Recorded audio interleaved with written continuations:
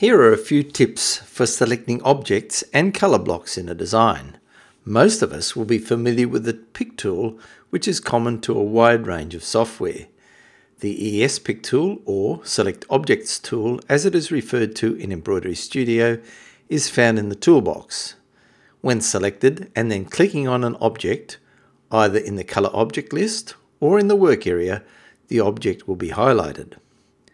If selected in the work area, the focus will identify those objects in the Object Property box. Notice my selected objects turn pink. Look for the article on background and display colours to see how I've set this up. Here's a good tip for you. In this design, there are a couple of objects that occupy a common area, and it is difficult to select the object I want. Holding down the number 2 on the keyboard as I click will cycle through the objects in the common area. The Select tool is comprised of five methods of selecting an object.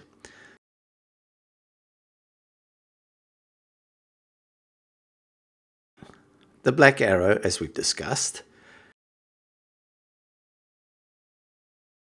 the freehand select tool, where you left click, hold and drag around the object you wish to select,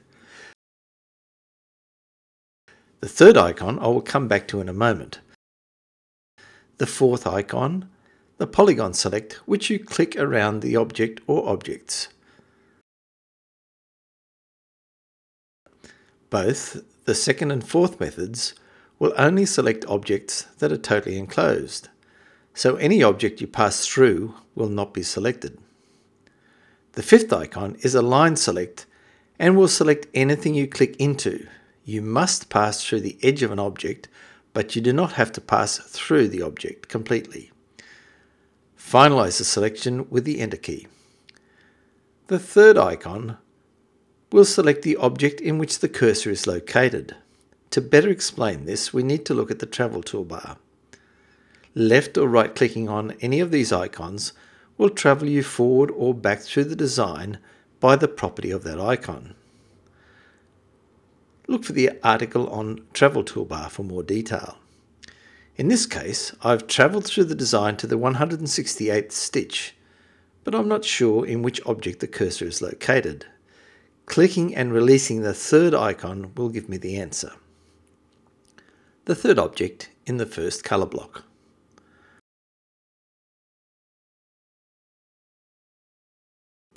On a similar line, a feature in ES 4.2 is to left click and hold down on a color chip in the working palette, and that color block will be displayed on the work area and the other objects hidden while the left mouse button is held down.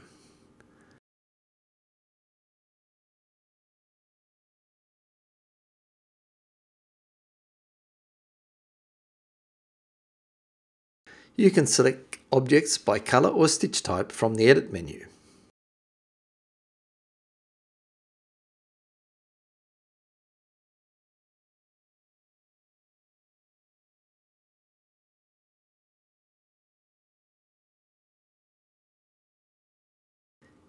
You can see here the first colour red occurs three times in the sequence of the design.